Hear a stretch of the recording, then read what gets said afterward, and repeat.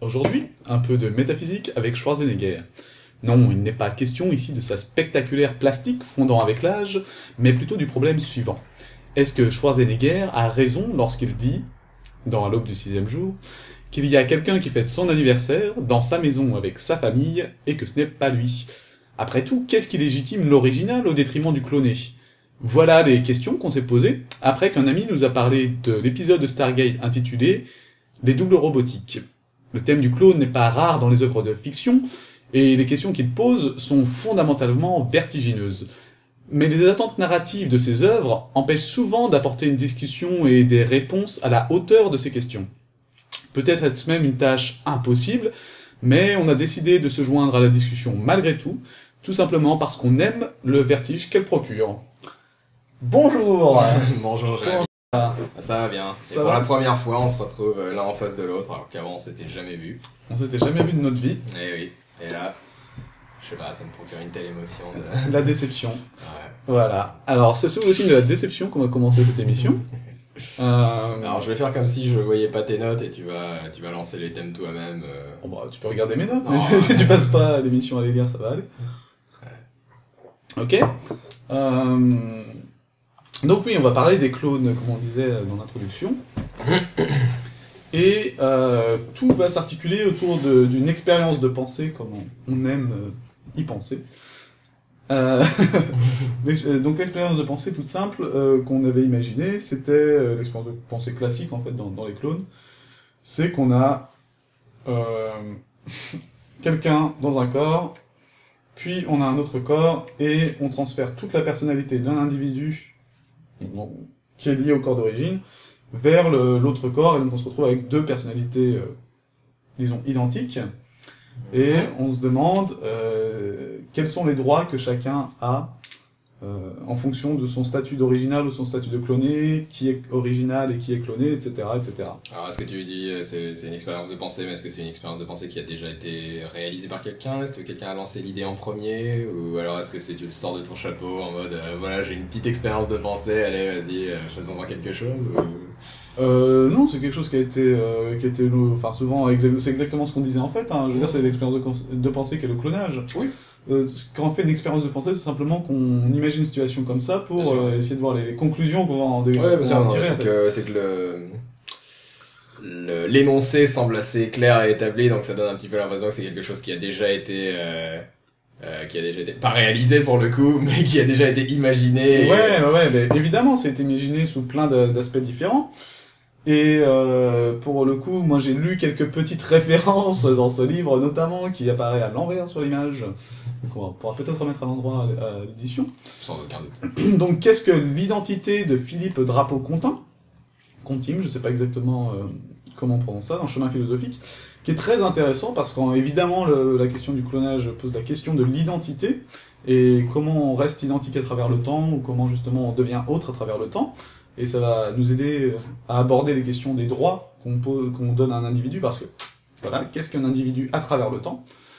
Et euh, un autre livre que j'ai consulté pour euh, m'intéresser à tout ça, euh, c'est un livre dans des éditions euh, Vrin, texte clé de métaphysique contemporaine, et ça s'appelle Métaphysique contemporaine, propriété, monde possible et personne. Donc c'est un ensemble d'articles euh, anglophones à la base qui ont été réunis et traduits, enfin réunis pardon par euh, Garcia et Neff exactement. Et euh, tout ça, ça aborde José, Garcia, quand il a essayé son nouveau duo avec Neuf. Voilà, alors je voulais pas en parler, mais ça, ça décriminalise un peu le tout. Mais euh, bon, voilà, c'était ça. Mais euh, évidemment, c'est juste histoire d'avoir un peu de, de grain à moudre, mais ça dit euh, que qu'il y a des gens qui. Donc moi j'ai rien lu du tout aux éditions Walou. Ouais, c'est quelque chose que les gens consultent souvent. Euh, mais ouais, donc au-delà de ça, c'est pas c'est pas crucial d'avoir lu ou de savoir que des gens ont fait des choses avant. Non, tout à fait. Et puis de toute façon, c'est quelque chose qui est déjà pas mal, euh, effectivement. On vient pas, on vient pas révolutionner le monde de la pensée ni quoi que ce soit avec cette expérience. C'est vrai que euh, ça, bah, on peut, il y a énormément de références à ce type des, ce type de, à cette expérience de pensée ou en tout cas à des choses assimilables plus ou moins. Par exemple, euh, alors là, la première qui me vient en tête, c'est le, le fameux truc des téléporteurs de Star Trek. Ah, À savoir que quand on se téléporte dans Star Trek, bah, est-ce que du coup ça, dés- ça nous désintègre complètement en nous réintégrant à un autre endroit? Donc du coup, est-ce que c'est la même personne qui arrive à l'autre endroit que celle qui est partie? Alors on va avoir l'occasion d'aborder euh, Star Trek. Star Trek. non, on va, enfin oui, euh, va si tu veux, moi je connais vraiment pas. On va aussi Star- spoiler Star Wars. Voilà, le dernier épisode, ce sera super. En fait, on va faire que ça d'ailleurs, on va faire un truc spécial Star Wars. Euh, Et si les gens voient cette vidéo dans plusieurs années où Star Wars est comme euh, Luke, je suis ton père, le truc qui est devenu un tel cliché dans, dans 10 ans, un truc comme ça, ça sera incroyable. Mais cette question de, de, de la zut, de la téléportation dans Star Trek avec la destruction d'un individu et la création de l'autre, etc.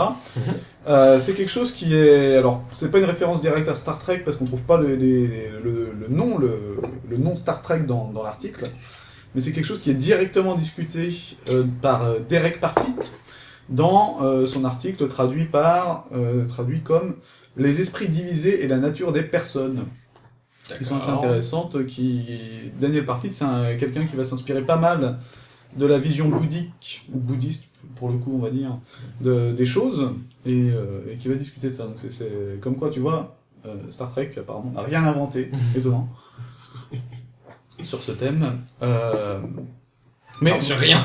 Sur rien On essaie de se faire des ennemis. euh, moi, ce que voilà, le, le- tu peux voir. Oui, c'est vrai que bon, tu voulais, tu voulais d'abord tu voulais d'abord commencer sur la question législative euh, des droits du clone euh, en général. Non, mais disons que les, les, les questions qu'on se pose tout le temps, c'est des, des choses. Ah bah une fois qu'il y a des clones, qu'est-ce qu'on qu'est-ce qu'on va faire Parce que euh, est-ce qu'il a les mêmes droits que moi? Est-ce que j'ai les mêmes droits que lui, etc. Euh, pourquoi on se pose ces questions-là Tout simplement. volent notre travail. Exactement, mais c'est des questions que Schwarzy se pose. Quoi. Il, il s'insurge, il s'indigne du fait qu'il y ait quelqu'un qui fête son anniversaire dans sa maison avec sa famille et que c'est pas lui. Et donc il a pas le droit et c'est lui, Schwarzy, qui devrait le faire. Ce qui est vrai. Ah oui, mais on va pas spoiler le film, mais est-ce que c'est vrai? Je sais pas. Et donc, ça c'est la question qu'on se pose à la base. La, la première question qu'on se pose, c'est est-ce qu'il a le même droit que l'original? Donc ça, moi, je pensais aborder cette première question-là au tout début, mais évidemment, ça va nous mener à, à d'autres questions, mais qui sont presque presque la même question. quoi. C'est l'autre question qui après, c'est bah, quels critères on utilise pour établir les droits? Les droits, pardon. Et euh, évidemment, à nouveau, pour répondre à cette question, la question qui va se poser, c'est quels sont les critères qu'on utilise pour définir l'identité personnelle? Parce que généralement, c'est à travers l'identité qu'on va réussir à définir des droits. Alors c'est vrai qu'habituellement, ce qu'on a tendance à, ce qu'on a tendance à dire ou à, ou à voir, je pense à voir la plupart du temps dans la culture euh, pop, ulaire, Ouais. donc dans la culture pop, c'est euh, c'est effectivement le fait que celui qui a les droits en général, c'est ce, c'est l'original. C'est euh, c'est plutôt le Exactement. Voilà, c'est plutôt le clone original qui se retrouve à être le bah, celui qui doit fêter son anniversaire dans sa maison et que ce n'est pas lui. Exactement. Euh, finalement, je me perds.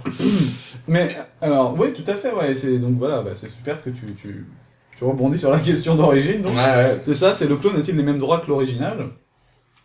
Et comme tu le dis, la réponse qu'on donne généralement, c'est non. Le, Ouais, le clone n'a pas les mêmes droits que l'original. Sous-entendu, l'original a plus de droits que le clone, ou en tout cas conserve ses droits. Et le clone est un individu différent, etc., etc. Donc comme tu dis, non. Euh, moi, j'ai listé un peu. Alors attention, spoilers incroyables pour ceux qui n'ont pas euh, vu à l'aube du sixième jour. Euh, C'est pas bien. c'est pas bien, mais on a indiqué les spoilers, et puis éventuellement on pourra le couper au montage si on veut pas être ce genre de personne. Mais là, pour la question qui nous intéresse, c'est quelque chose. On, a- on va- on va donner des, des, des arguments, on va donner des exemples de- d'œuvres qui, qui, qui disent que non, non, le clone n'a pas le, le droit, ou en tout cas qui essayent de. Souvent, en fait, ce qui se passe aussi, c'est qu'ils ils font une petite pirouette et qu'ils trouvent une façon de, de pas forcément répondre à la question. Ils assument pas vraiment, tu vois.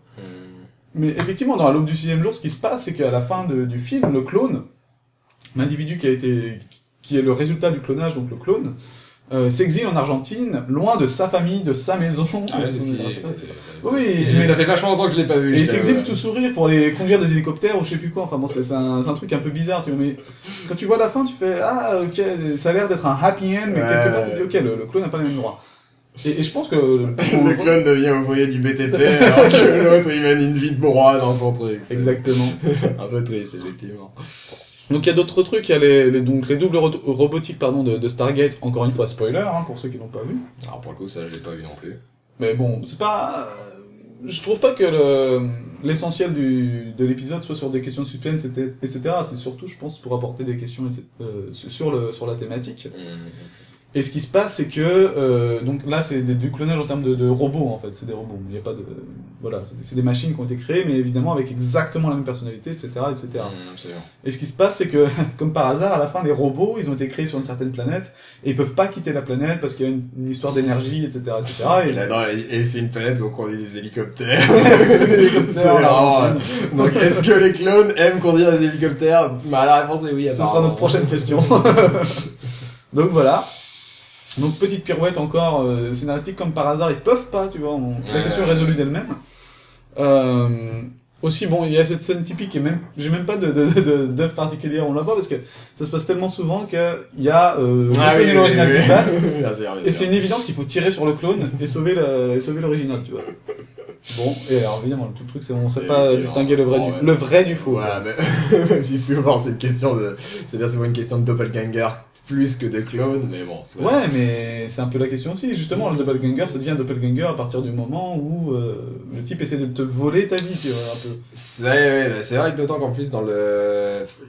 D'ailleurs, je me demande même si dans cette euh, dans cette espèce de peur entre guillemets du euh, du clone qui qui te vole ta vie, il y a pas un genre de ressurgence de- du mythe du doppelganger justement qui arrive et se fait passer de plus en plus pour toi et au final parce que il me semble, alors, peut-être que je me trompe, j'avoue, parce que moi, il me semble que le- les seuls trucs de doppelganger que j'ai eu, ça devait être dans Lovecraft. Mais en tout cas, il me semble que les doppelgangers, ils ont pas forcément des intentions maléfiques derrière, tu sais, genre, ils veulent pas te voler ta vie, comme ça, après, ils font exploser toute la maison, ou je ne sais quoi, ils laissent allumer le gaz, ou j'en sais rien. C'est plus le mec, bah voilà, une fois qu'il t'a volé ta vie, il t'a volé ta vie, il est toi, et toi, t'es, et toi, tu, bon, tu finis par mourir, parce que voilà. Parce que voilà, c'est la, c'est les doppelgangers. Mais au final, il a pas forcément des, des, des, des intentions belliqueuses, outre le fait, outre le fait de te voler ta vie et que, Ouais, tu, et que en meurs. Mais, euh... Ou pas.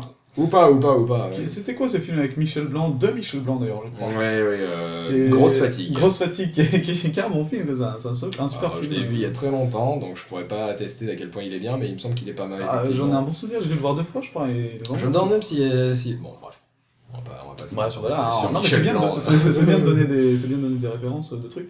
Bon, après, c'est-à-dire, il y a quelques exceptions qui sont, euh, qui sont pas forcément à répondre non plus à la question, mais c'est juste des, des, des, des exceptions, c'est-à-dire des, des œuvres qui prennent moins le parti pris tout de suite du, bah, l'original a des droits et on va trouver une pirouette pour que de toute façon, sans même répondre à la question de morale s'il a des droits ou non, de toute façon, techniquement, il va être obligé de conserver sa place d'original et le clone va être relégué ailleurs.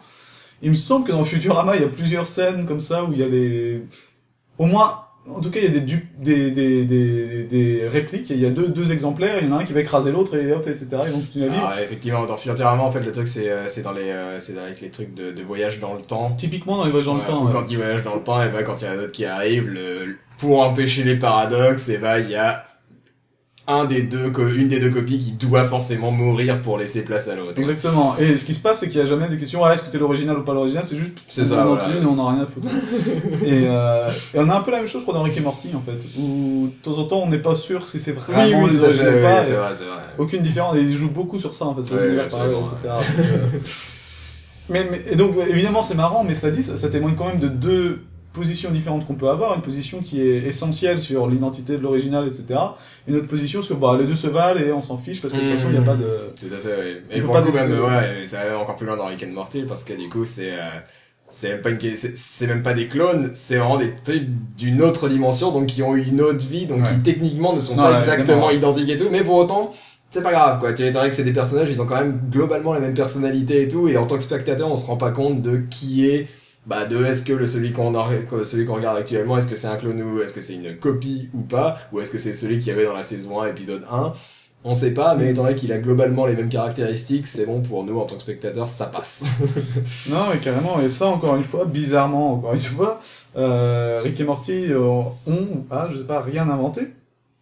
Et euh, c'est quelque chose qui a, qui a déjà été discuté, en fait, cette idée qu'il y a plusieurs mondes parallèles, si on veut, ou plusieurs mondes possibles, et ça a été discuté par euh, David Lewis.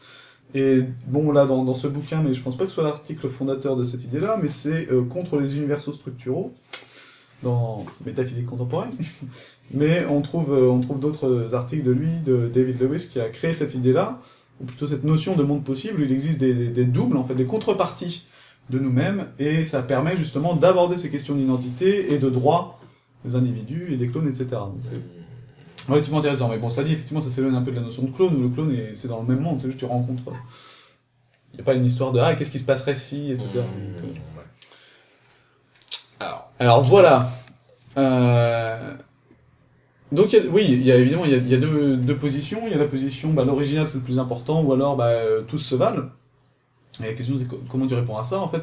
Comment comment tu détermines les droits d'un individu en fait. Comment tu détermines les droits de l'original par rapport au cloné.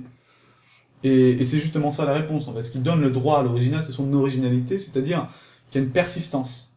L'original était là avant, oui. il est encore là après. Mmh. Et le cloné, quelqu'un qui est venu en plus, mais qui n'était pas là avant, et du coup, il, vient, il cherche de remplacer, quoi. Il vient voler ton travail, il vient voler ta famille, il vient voler tout ça. Euh, on est chez nous, dehors des clones. Dehors les clones. Ouais, voilà, parfois ils arrivent en Corse et tout, c'est c'est chaud, quoi. Euh, On coupera. on veut pas de problème, hein. Euh, donc oui, la question, euh, la question qu'on se pose, c'est quelle question, euh, pardon, quels critères, justement, on va faire pour définir l'identité personnelle, parce que l'originalité, la persistance, etc., est-ce que c'est si évident que ça? Mmh. Et qu'est-ce que ça veut dire même? Ça veut dire quoi être original Ça veut dire quoi être, être persistant? Qu'est-ce qu'on va regarder? Alors Première question qu'on se pose à ce niveau-là, c'est qu'est-ce qui doit persister par exemple? Est-ce que c'est le corps? Est-ce que c'est l'esprit? Quoi que ce soit l'esprit Ou est-ce que ce sont plutôt quelque chose comme un combo corps-esprit hein? Alors, euh, bon.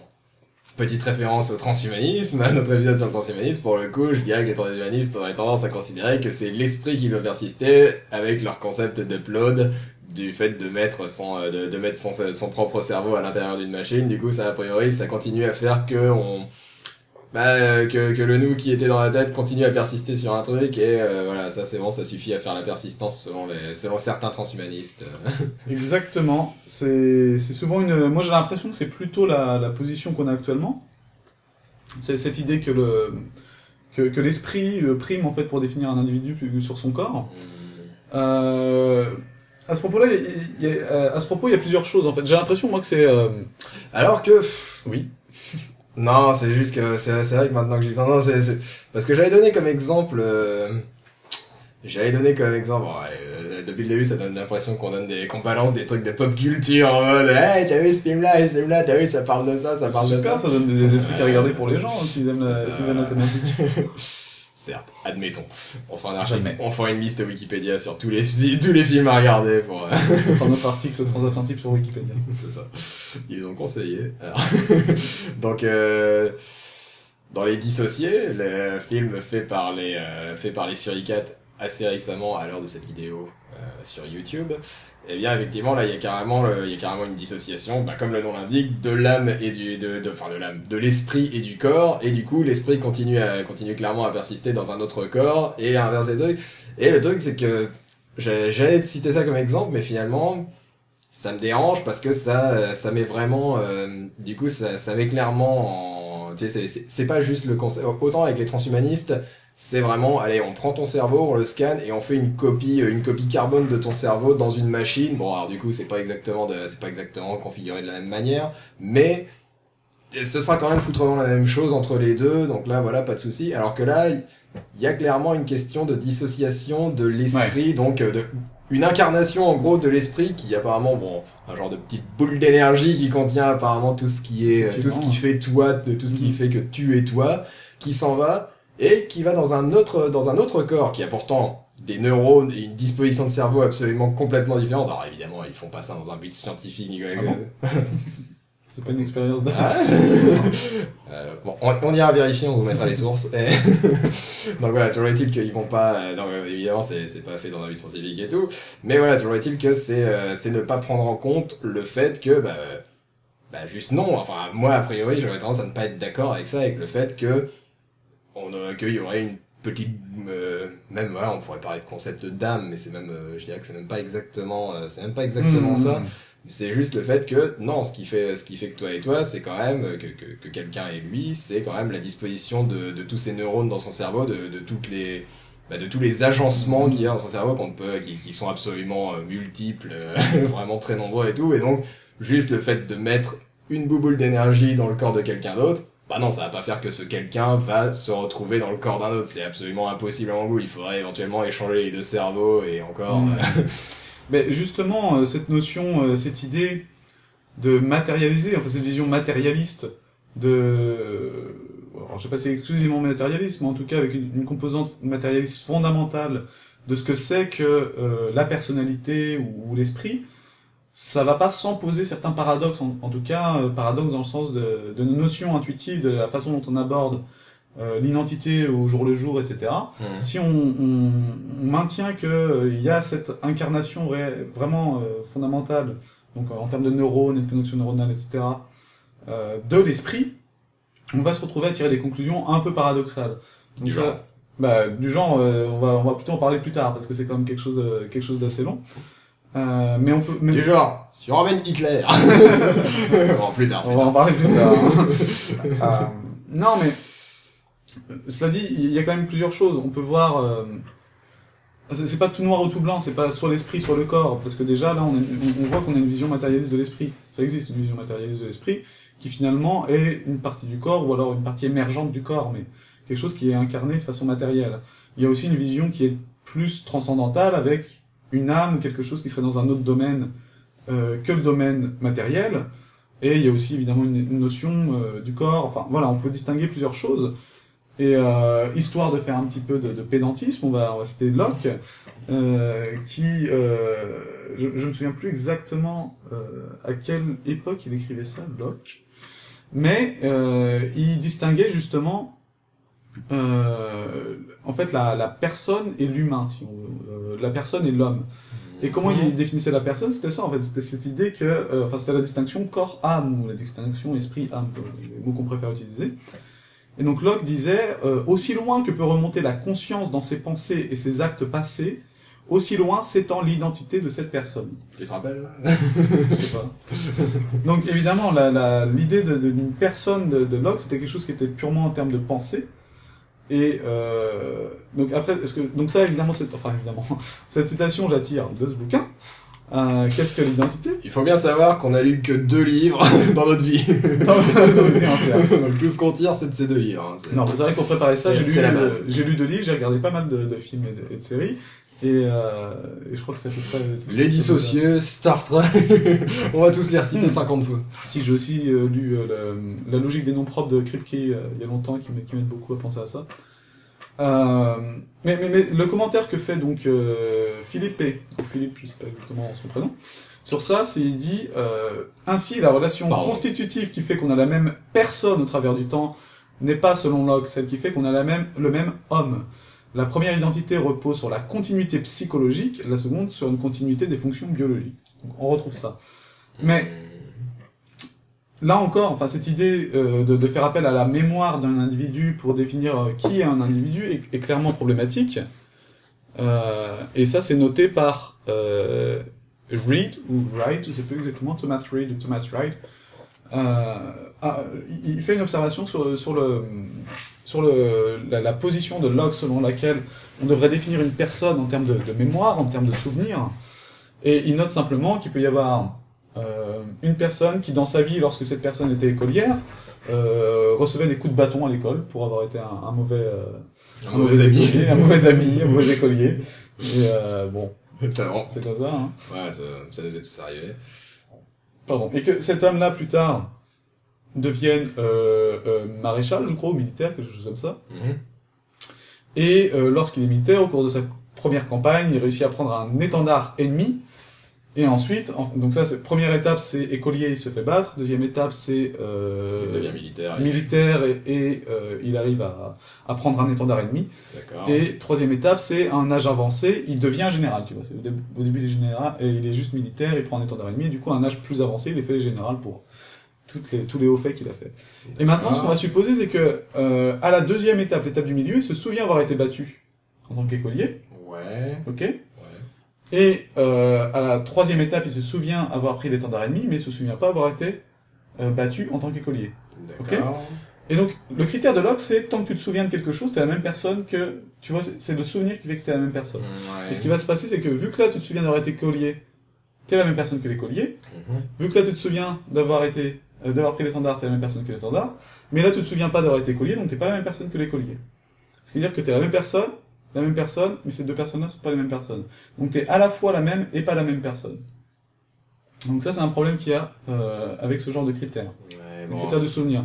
Après, on peut toujours Ouais, voilà, on peut Alors, toujours arguer et dire que bah, on change au, au- au cours de notre vie, on change tellement euh, de, de façon de penser, de façon d'être que peut-on réellement considérer qu'on est la même personne à la fin de notre vie qu'on l'était au début de notre vie?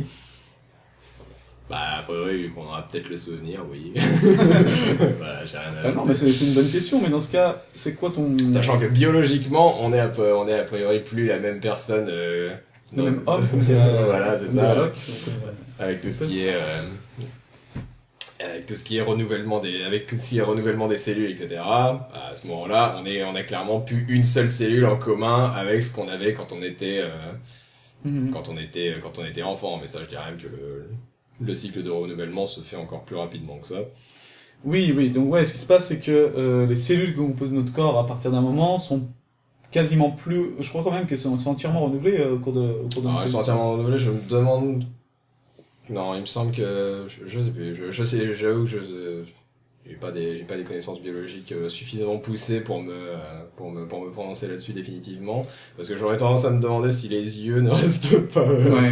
mais mais bon c'est là, c'est un petit peu du bullshit que j'ai donc on mais toujours est-il que voilà il y a quand même une il y a quand même un renouvellement des cellules qui fait qu'on Bon, est mais même mettons, mettons que l'intégralité des cellules soit remplacée. Est-ce que on pourrait dire que euh, mon corps, maintenant, c'est pas le corps que j'avais quand quand j'avais quand j'étais petit. C'est-à-dire que maintenant j'ai mon corps, avant j'avais pas mon corps. Est-ce que est-ce que c'est faux quand je dis mon corps a changé? Parce qu'après tout, je dis mon corps a changé, c'est-à-dire que j'avais mon corps avant, j'ai toujours mon corps maintenant. Et il a changé. Comment je peux dire déjà d'une seule chose qu'elle a changé? Tu vois, c'est le genre de c'est une question incroyable ça. ouais, Tu vois? Donc donc on a vraiment des, on commence à avoir des, des Alors, petits je vais t'expliquer, c'est à la puberté, tous les jeunes garçons euh, et les jeunes filles, je crois. Et euh... Et euh...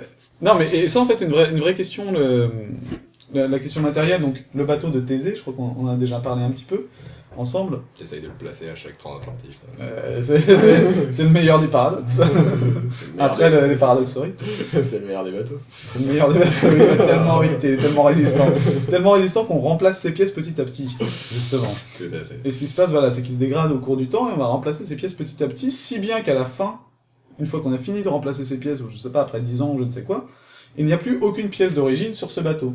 Et est-ce qu'on dit que le bateau à la fin n'est plus le même bateau qu'au début. Et ce qui s'est passé, c'est qu'il y a eu un petit euh, twist euh, qui a été proposé par euh, Hobbes, qui, est- qui a dit, mais quand on enlève les bateaux, euh, les planches pardon du bateau, ces planches qu'on enlève, on va les reconstituer petit à petit, et à la fin du coup, on aura fait un bateau avec les planches enlevées puis reconstituées, et on aura toujours le bateau auquel on aura, rem- on aura remplacé les pièces petit à petit. Ce qui fait qu'à la fin, on aura deux bateaux. D'accord. Alors, le bateau reconstitué avec les planches d'origine, mais qui ne sont plus justement sur le bateau d'origine, Mhm. est-ce que c'est un bateau différent du bateau d'origine? C'est lequel le bateau qui a le droit de, de prétendre C'est Eh lequel qui a le ben, droit, le droit de naviguer sur les mers et de, de, de- de se dire le meilleur bateau du monde Justement, est-ce que c'est le bateau reconstitué ou est-ce que c'est le bateau qui a été, dont les pièces ont été changées euh, au fur et à mesure? Donc, on, on- T'attends que je réponde Bah oui, j'attends, c'est ça, Ah. fin des, fin des émissions. Alors, on va peut-être faire une petite pause euh, sur ça.